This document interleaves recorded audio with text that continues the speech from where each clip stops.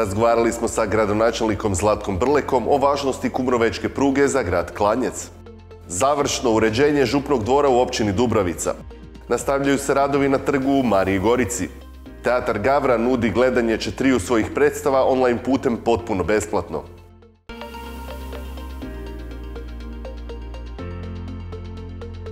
Poštovani gledatelji, dobar vam dan. Gledate vijesti televizije Zapad. Revitalizacija Kumrovečke pruge od vitalnog je značaja za grad Klanjec. Obnovom pruge stanovnici bi za pola sata do 45 minuta mogli doći do Zagreba, što bi sigurno potaknulo doseljavanje. Razgovarali smo sa gradonačelnikom Zlatkom Brlekom o važnosti projekta revitalizacije Kumrovečke pruge za daljnji razvoj grada Klanjca. Kako ističe, slovenska strana zalaže se više za provedbu tog projekta, iako je on puno važniji jedinicama lokalne samouprave s hrvatske strane. Što me posebno boli je to da e, je praktički Slovencima ta pruga e, više interesa na Republici Slovenije nego Republici Hrvatskoj.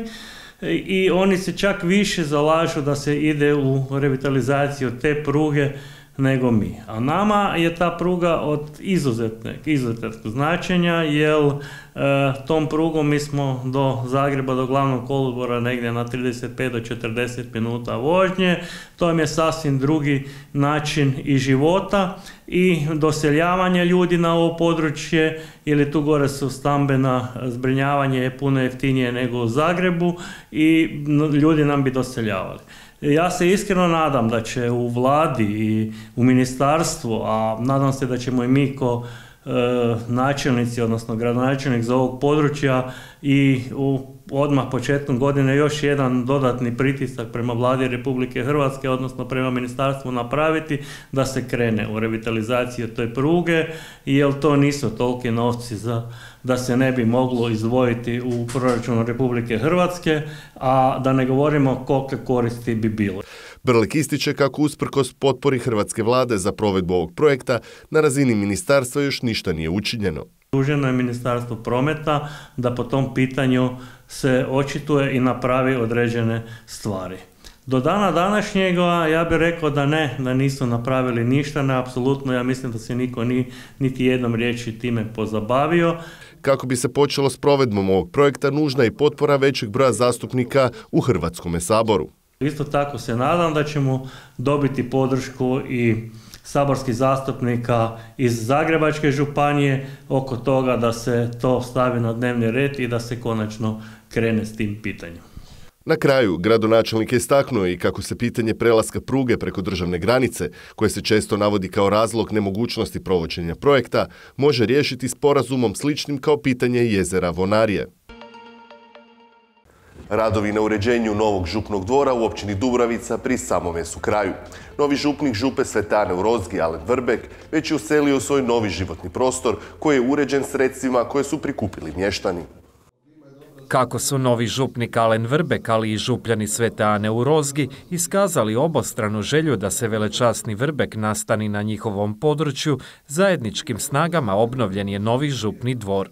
Kuća je 90% zapravo gotova, tako da ja ovdje ispavam i sve radim što treba, tako da još su neke sitnice ostale, ali većina je gotova. Evo ja sam se i ovdje zapravo nastanio, od Božića sam ovdje. Župnik se nada da će uz pomoć općine i ostalih koji su spremni pomoći još mnogo toga napraviti. Krenuli smo sa sa Kristijom, ona se uređuje sada.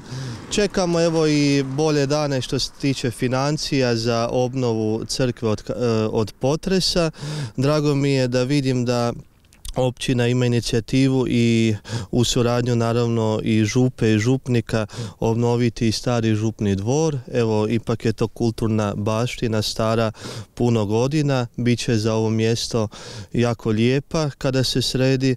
Evo, drago mi je također da smo uz inicijativu i općine i mnogih poduzetnika ovdje i malih ljudi evo koji su od srca donirali svoje sredstva uspjeli evo do Božića obnoviti i ovaj novi župni dvor kako bi župnik se mogao ovdje doseliti i kako bi na taj način i lakše funkcionirao u, svojim, u svojim zadaćama i dužnostima koje ova župa donosi. Župnik je sretan što su u novom župnom dvoru uređene sanitarije za vjernike, što će biti na boljitak svih župljana i župne zajednice. Unatoč hladnom zimskom vremenu nastavljeni su radovi na trgu u Mariji Gorici. Međutim, postoji dogovor između općine, izvođača radova i arhitektice koja radila na projektu po pitanju prolaza župnika do župnog dvora. Otpali su tako mehanički stupići koji bi se dizali i spuštali, a koji su najprije bili predviđeni. Radovi na trgu u Mariji Gorici kreću dalje. Načelnica pojašnjava da zamisao o mehaničkim stupićima u sklopu župnikova prolaza do župnog dvora ipak ne dolazi u obzir. U tom slučaju, po dolasku automobilom do stupića i izlasku iz istog, oni bi se trebali otključavati, spuštati pa dizati. Stoga je dogovor ipak pao na skuplji način rješavanja ove teškoće. Jedan stupić podizni e, koji će se na daljinski spuštati, tako da ga olakšamo prolaz do župnog dvora. Završni je to dio radova na uređenju trga u Mariji Gorici, koji kreće uskoro. Dogotoviti znači, rasvjetu i taj dio oko asfaltiranja i mislim da je to da će to jako brzo biti sad gotovo. Ugovor o izvođenju radova za projekt rekonstrukcije i uređenja Goričkog trga potpisan je 8. srpnja 2020. godine u prostorijama općine Marija Gorica. Novčano je poduprt Europskim poljoprivrednim fondom za ruralni razvoj, temeljem natječaja za tip operacije 741, ulaganja u pokretanje, poboljšanje ili proširenje lokalnih temeljnih usluga za ruralno stanovništvo, uključujući slobodno vrijeme i kulturne aktivnosti te povezanu infrastrukturu. Kako bi omogućio svojim gledateljima uživanje u predstavama, Teatar Gavran potpuno besplatno online putem nudi svoje četiri predstave. Suvremene dinamičke predstave možete pogledati od 15. siječnja, kada će se u 10 sati ujutro prikazivati predstava Pandorina kutica. Teatar Gavran igra suvremene dinamičke predstave u kojima se na prvom mjestu afirmira glumačko umjeće kao osnova teatarske umjetnosti tako da na svojim predstavama angažira ponajbolje hrvatske glumce, istaknute redatelje i iskusne suradnike. Nastoji kontinuirano biti nazočan u gradu Zagrebu, ali istodobno doći u svako, pa i najmanje mjesto u Hrvatskoj ako u njemu postoji želja za kazališnim doživljajem. Kako bi Teatar Gavran ovo pandemijsko vrijeme došao do svakog zainteresiranog gledatelja, četiri predstave Pandorina kutijica, Hotel Babilon, Pacijent doktora Freuda i najluđa predstava na svijetu bit će dostupne online potpuno besplatno. Tako će prva predstava Pandorina kutica biti dostupna online 15. siječnja od 10 sati.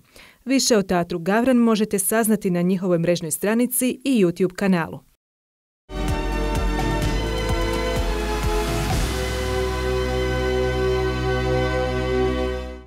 Sutra se na području grada Zagreba, Zagrebačke i Krapinsko-Zagorske županije očekuje pretežno sunčano vrijeme. Tijekom jutra očekuje se temperature oko minus 2 stupnje Celzijusa, a najviša dnevna temperatura dosezat na području grada Zaprešiće Velike Gorice oko 9, a Zagreba i Krapine oko 8 stupnjeva Celzijusa. Poštovani gledatelji, stigli smo do kraja današnjih vijesti. Pratite nas ponovno u 20 sati u Zapadnom dnevniku, a do tada ugodan dan i doviđenja.